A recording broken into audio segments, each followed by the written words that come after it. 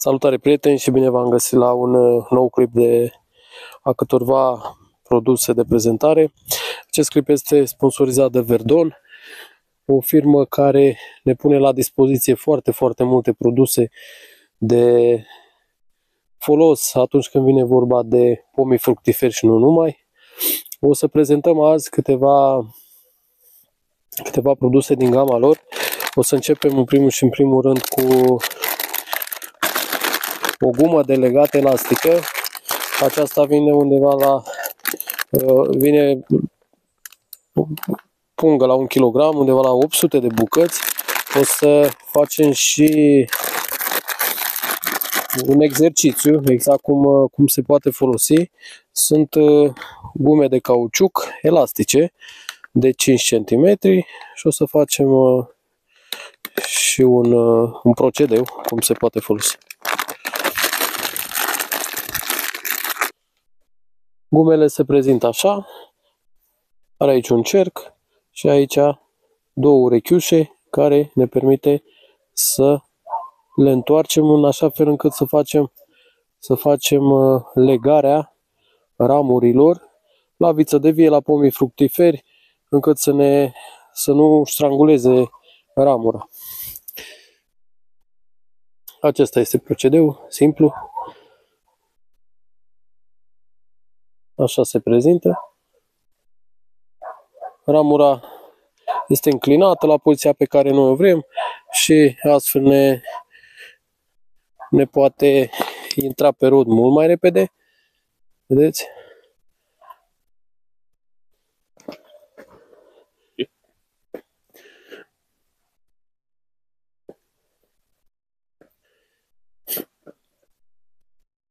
Asta este procedeul de legare foarte eficiente atunci când vrem să palisăm sau să legăm, încât să nu avem probleme cu strangulare. Încă un produs care ne este foarte necesar atunci când vine vorba de rozătoare și de, de distrugerea tulpinilor este această bandă de protecție plasă o putem numi așa. Băgând această plasă pe tulpina pomilor, nu mai avem probleme cu răzătoarele. Avem aici un pachet de 200 de bucăți, 80 uh, de centimetri lungime și o să facem și un procedeu cum, uh, cum se poate uh, folosi.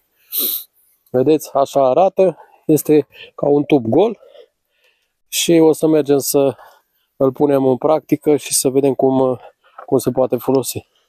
În cazul în care uh, vrem să folosim mai puțin, se poate secționa din el și uh, oprim exact cât, cât avem nevoie.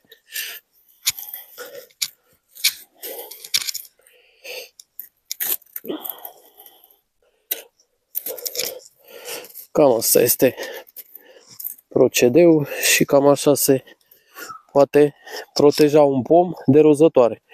Uh, pe lângă asta putem să mai legăm ori cu sârmulițe, ori dacă nu cu tub de vinil, dar o să prezentăm și uh, cu ce putem să legăm. Încă un produs foarte, foarte eficient de la cei de la Verdon este uh, tubul de vinil sau garou. Au pe diferite dimensiuni, grosimi, putem să-l folosim la pomii fructiferi, putem să folosim la vița de vie atunci când vine vorba de legat, pentru că este un tub care nu strangulează. Ați văzut, am folosit uh, plasa de protecție antirozătoare și dacă avem nevoie să o legăm, putem să o facem foarte, foarte bine cu acest tub de vinil. Se rupe foarte ușor pentru că este elastic, ne putem opri exact cât avem nevoie și putem să legăm uh, pomii acolo unde noi, noi avem uh, nevoie. Mergem să facem un procedeu la plasa de antirozătoare și după aceea pot să legăm și o, o ramură acolo unde trebuie. Acesta este procedeul de legare și v-am zis, nu este singura, îl putem folosi mai multe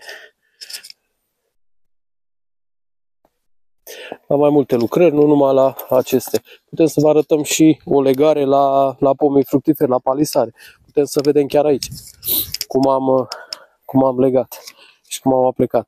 Se leagă foarte bine de sârmă, se face un nod, după aceea se leagă uh, ramura încât să o orizontalizăm și să avem poziția pe care noi ne dorim la, la ramuri.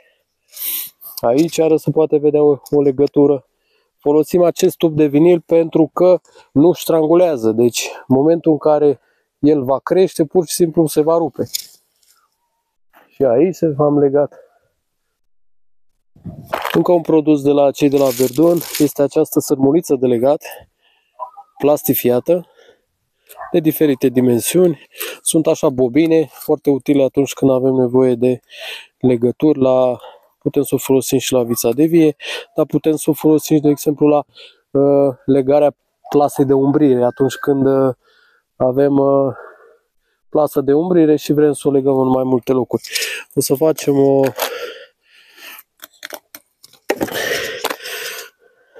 o procedură. Putem să găsim și așa la nu știu câte sute de, de bucăți sunt aici sau dacă nu așa la bobină. Spuneam de procedura și de folosința acestei sărmunițe. Eu mi este mai ușor să fac această legătură aici pentru că știu că va fi ceva de durată. Este maleabilă, este și la culoare cu uh, plasa asta de umbrire, dar se mai poate folosi și în alte scopuri. Ca un produs de la cei de la Verdon, știți prea bine că îl folosesc uh, cu brio de vreo 4-5 ani. Este vorba de mastic cu cicatrizant, cu adaos de cupru, arbocol. Atunci când avem răni, atunci când uh, avem uh, tăieturi severe la pomii fructiferi, folosim acest mastic. Vine la două ambalaje, la un kilogram această cutie, cu o paletă care se poate aplica atunci când uh, acesta este sigilat. Momentan nu, nu o să-l desfac. Uh, putem să luăm foarte bine masticul din, uh, din el și să punem acolo unde, de exemplu, am tăiat mai sever și vrem ca rana aceea să se închidă. Și uh, are și așa la 250 de grame tub cu perie. Acesta este folosit. Uh, foarte, foarte eficient la aceste tăieri severe, la altoiri, la răni. Acolo unde avem uh, răni ale pomilor putem să aplicăm acest mastic și uh, totul va fi ok. Acesta este produsul. Este ca un, e un mastic pe care îl aplicăm la pomi. Este pe bază de cupru, foarte eficient atunci când uh, avem tăieri grosiere. O să mergem să vă arătăm și cum se face aplicarea și în același timp o să vă arătăm și evoluția unei răni uh, pe care am sigilat uh, și am protejat-o cu acest mastic. Aici avem o tăiere severă a unei ramuri și se poate, că, se poate vedea că eu am aplicat mastic. Dar o să vă arăt și dumneavoastră cum putem să facem acest, acest lucru și cum putem să-i protejăm.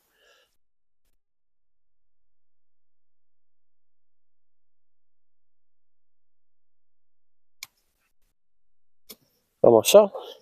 Rana este sigilată și o să vă arăt și evoluția unei răni de un an de zile sau poate chiar doi. Aici avem o evoluție cu brio. Se poate vedea masticul pe margine și cât de bine s-a închis. Cât de bine s-a închis această rană. Bineînțeles, trebuie să și știi să tai, pentru că să tai la inelul de cicatrizare. Dacă tai mai sus, e un pic mai, mai greu de, de sigilat. Acolo mai putem să mai vedem și acolo în partea cealaltă, partea opusă.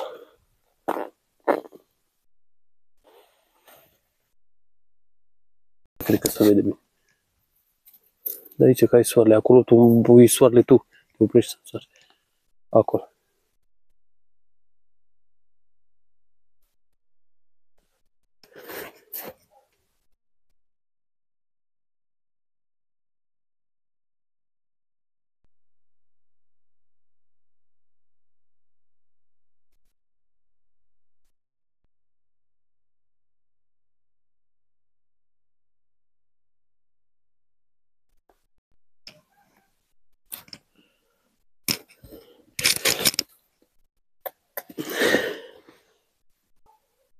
Și încă două produse atunci când vine vorba de stropiri este uleiul de parafină Ovipron Top, însă trebuie să adăugăm un, un insecticid la el. Știți prea bine că în luna martie se uh, face stropire cu ulei horticol și insecticid. Acesta este unul dintre uleiurile pe care le recomand. Vine la un litru, puteți să găsiți cred că și la 5 litri, cei care doriți cantitate mai mare. Și bineînțeles, poate cel mai folosit fungicid pentru legume, fructe, fiță de vie, ceam 77, o, un fungicid pe care eu îl folosesc de foarte mult timp, cu, cu rezultate deosebite. Sunt uh, tot așa la diferite sunt la diferite gramaje, la un kilogram, poate să fie la 100 de grame, la 200 de grame sau pliculețe mici, direct de o pompă, cum ar veni de 10 litri.